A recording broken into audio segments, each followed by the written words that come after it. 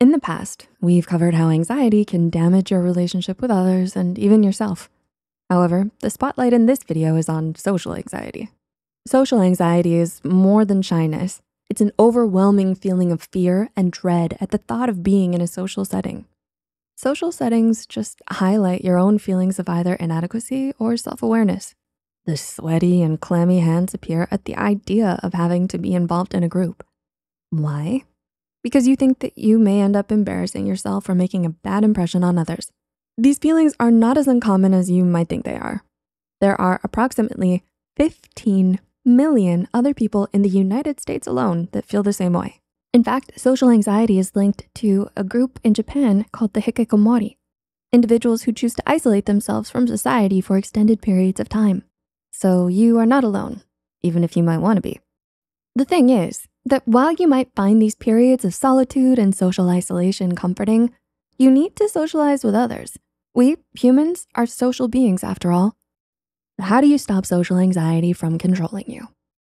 Recognize where the spotlight is. A common symptom of social anxiety is perceiving how others perceive you, meaning you find yourself feeling uncomfortable or extremely self-conscious because you are aware of how others might perceive you. It's this hyper and almost meta awareness that triggers deep feelings of self-consciousness and anxiety, which makes you run from social situations. This bias, believing that others are watching you is called the spotlight effect. But the truth is that most people are focused on their own things. They aren't really looking at other people around them unless it directly involves or affects them. Once you realize that no one is really looking at you, you'll start to feel a lot freer and less worried. Address the negative beliefs tied to your social anxiety. Social anxiety is magnified and fueled by the ruminating negative monologue you have in your head. Negative social experiences often leave a scar that can affect all future possibilities. As a result, in the face of social situations, you may start to fabricate presumptions about how things will turn out. Usually, your mind will paint you the worst possible picture, scaring you into not going outside. Sometimes these assumptions are not just about the event, but also about yourself and your abilities. Consequently, you become more anxious and less willing to attend a social event. To counter this, we can identify where these negative assumptions come from and what triggers them. Maybe it was a bad experience or maybe the assumption has no basis. By learning the source of your negative talk, you can learn how to address it and cancel it. Negative experiences or thoughts can trigger anxiety and then devolve into negative thinking patterns, such as catastrophizing or mind reading. Challenge these thoughts by asking yourself, is this worry based on facts or assumptions? Replace irrational fears with more realistic and balanced perspectives. Remember, just because you think something doesn't make it true. Be more realistic. Another factor that affects our level of social anxiety is expectations, societal or self-fabricated. Sometimes we idealize how a situation will play out or imagine how it should play out. As a result, we have high expectations and our fear then becomes, what if it doesn't happen that way? The antidote to this is realism.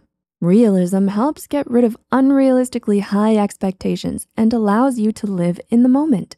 Now, free of expectations, you may find yourself enjoying a social gathering instead of dreading it.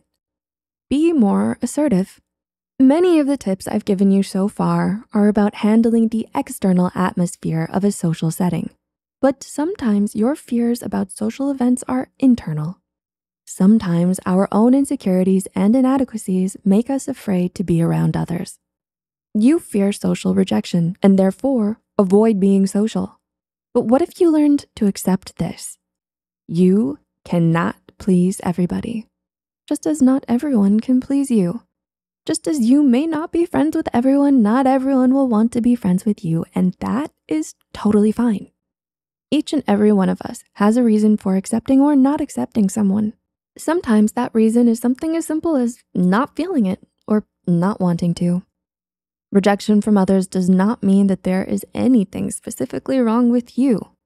So don't take other people's perceptions of you too seriously. Whether someone chooses to like you or dislike you should not dictate or affect your self-worth. Learn to handle mistakes. And lastly, many people become anxious about being in a social setting because they're afraid to embarrass themselves. But the trick of getting over an embarrassment is how you decide to handle it. We've all done something cringe at some point. Like, like that, like what I just did right there. So what? Learn to laugh it off. I say this fully knowing that it might not be that easy, but learning to laugh off a mistake or embarrassment starts with learning to value yourself and having self-confidence. Having self-confidence helps you overcome your social anxieties and makes you more comfortable being in a social setting. Why? Because all the negativity and fear of rejection disappears. Learning to love and value yourself, learning to speak up for yourself and being confident is the key to overcoming your nerves. Easier said than done. Like all things in life, it's a process that involves rewiring your negative talk and maybe working with a therapist to overcome biases that have created your social anxiety. But the journey is worth it. You learn to socialize and live a more empowered life.